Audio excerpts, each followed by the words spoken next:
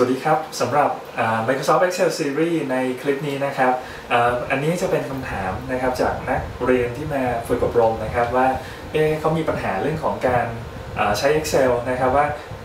เวลาเรา Import ข้อมูลจากฐานข้อมูล หรือว่าจากอีกระบบหนึ่งเข้ามาเนี่ยนะครับมันจะมีชื่อลูกค้าของเขาหรือว่าชื่อพนักงานก็ดีนะครับซึ่งมันมีเป็นชื่อแล้วก็นามสกุลต่อกันเลย นะครับคำถามของเขาก็คือว่าเอ๊ะเขาต้องการจะดึงเอาเฉพาะชื่ออย่างเดียวไปใช้นะครับหรือว่าเอ๊ะต้องการจะแยกชื่อกับนามสกุลออกมาเนี่ยจะทำยังไงนะครับซึ่ง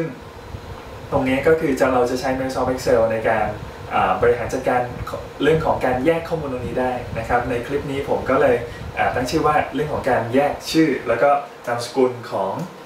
อข้อมูลของเรานะครับเดี๋ยวมาดูรายละเอียดกันนะครับ ในส่วนตรงนี้นะครับผมยกตัวอย่างนะครับที่เซลล์ A2 นี้นะครับอันนี้อันนี้เป็นเซลล์ที่ชื่อนะครับเรามีชื่อนามสกุล ซึ่งท้ายที่สุดมันอาจจะเป็นข้อมูลแบบเยอะแยะไปหมดนะครับผมมีชื่อกับนามสกุลคำถามก็คือเอ๊ะแล้วถ้าหากเราต้องการจะแยกนะครับให้แยกชื่อออกมาแยกนามสกุลออกมาโดยที่เราใช้สูตร ใช้สูตรนะครับไม่เอาไม่ไม่มานั่งแมนนวลนะครับจะทำยังไง นะซึ่งถ้าใครที่เพิ่งเริ่มใช้ Excel หรือว่ายังไม่รู้จักสูตรมากมายมากนะนะครับ ก็เดี๋ยวติดตามในคลิปนี้นะครับในคลิปนี้นะครับก็จะมีสูตรที่สำคัญนะครับ สูตรแรกนะครับก็คืออสูตรที่ชื่อว่าไฟล์นะครับ สูตรที่ชื่อว่าไฟล์นะฮะเดี๋ยวผมซูมเข้ามาให้ทุกท่านเห็นชัดขึ้นนะครับอันแรกนะครับ สูตรว่าไฟล์ นะครับสูตรนี้ไว้ทำอะไรครับ สูตรนี้ไว้ทำหน้าที่ในการค้นหานะครับ ค้นหานะฮะถ้าเราพิมพ์ว่าเท่ากับไฟล์เปิดวงเล็บปุ๊บนะครับเขาจะถามว่าไฟล์ text นะครับข้อความที่เราจะใช้ในการค้นหาคือข้อความว่าอะไรนะครับนะฮะแล้วก็ within text นะครับก็คือว่าข้อความที่เราจะค้นหาเนี่ยเราจะไปค้นหาที่เซลล์ไหน หรือว่าภายในข้อความอะไรนะฮะในที่ผมค้นหาคำว่าเว้นวรรค อันนี้คือเครื่องหมายคำพูด แล้วก็เว้นวรรคหนึ่งครั้ง แล้วก็เครื่องหมายคำพูดอีกครั้งหนึ่งนะครับภายในข้อความชื่อเราเนี่ยนะผมต้องการจะแยกนะครับ การที่เรารู้ชื่อกับนามสกุลนี่ก็คือ เราจะแยกมันได้ก็คือต้องรู้ตำแหน่งตรงนี้ก่อนนะเราต้องทำการรู้ตำแหน่งตรงนี้ครับว่าตำแหน่งนี้คือตำแหน่งอะไรนะซึ่งผมก็หาได้แล้วครับว่า เป็นตำแหน่งที่ 7 นะครับนะฮะหนึ่งสองสามสี่ห้าหกเจ็ดนะครับตรงนี้คือตำแหน่งที่7นะฮะ นี่คือฟังก์ชันไฟล์นะครับฟังก์ชันไฟล์หาข้อความนี้ในข้อความโน้นนะครับ หาข้อความเว้นวรรคนะครับ ว่าเว้นวรรคอยู่ที่ตำแหน่งอะไรนะฮะจากนั้นครับสิ่งที่ทุกท่านควรจะรู้เกี่ยวกับเรื่องของการทำงานกับข้อความก็คืออเรื่องของการนับจำนวนตัวอักษรนะครับ ซึ่งการนับจำนวนตัวอักษรเนี่ยนะฮะเดี๋ยวเราใช้ฟังก์ชันชื่อว่าฟังก์ชันชื่อว่า len นะครับอ่าฟังก์ชัน len len ย่อมาจากอะไรครับ ย่อมาจาก length นะ length ของข้อมูล length หมายถึงว่าความยาว ผมอยากจะนับว่าความยาวตรงนี้มันยาวกี่ตัวอักษรนะครับผมใช้ฟังก์ชัน len แล้วก็เปิดวงเล็บตามด้วยเซลล์หรือว่าข้อความนะครับหรือ expression ที่ต้องการจะเช็คความยาวตัวอักษรนะครับซึ่งผมเช็คละชื่อเว้นวรรคแล้วก็นามสกุลของผมเนี่ยยาว 20 ตัวอักษรครับนะฮะจาก 2 ตรงนี้เอ๊ะเฮ้ยแล้วมันจะเอามาช่วย ทำยังไงต่อนะครับ ก็เดี๋ยวมาดูต่อนะครับ ในการที่เราในการที่เราจะทำการ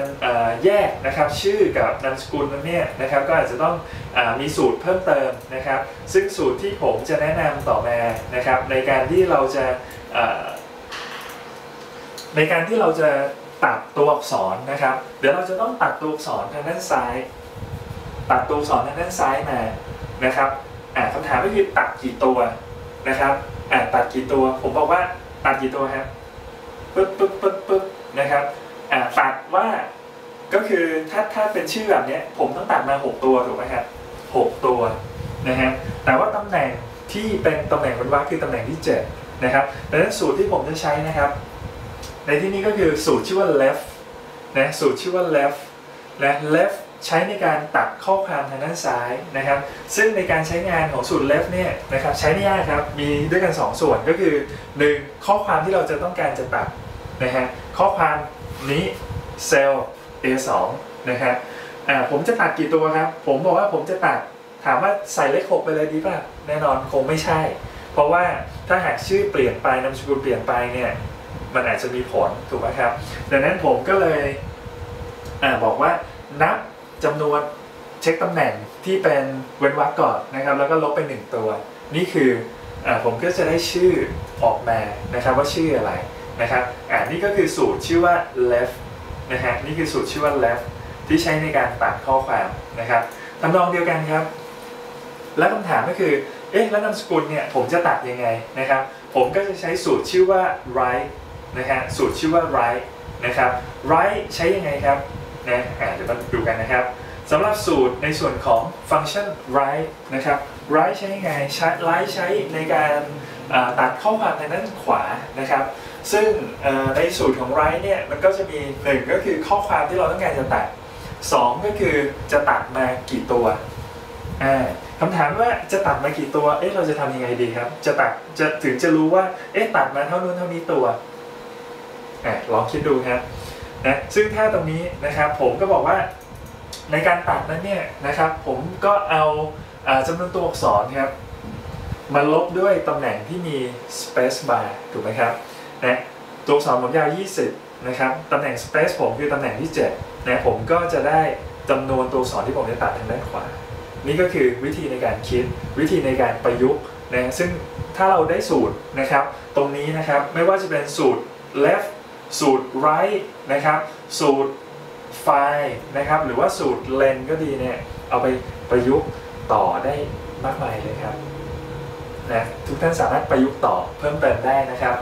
นะแล้วก็ถ้าหากในทำนองกับกันอ่าผมถามอีกนิดนึงนะครับ ในทำนองกับกันถ้าหากว่า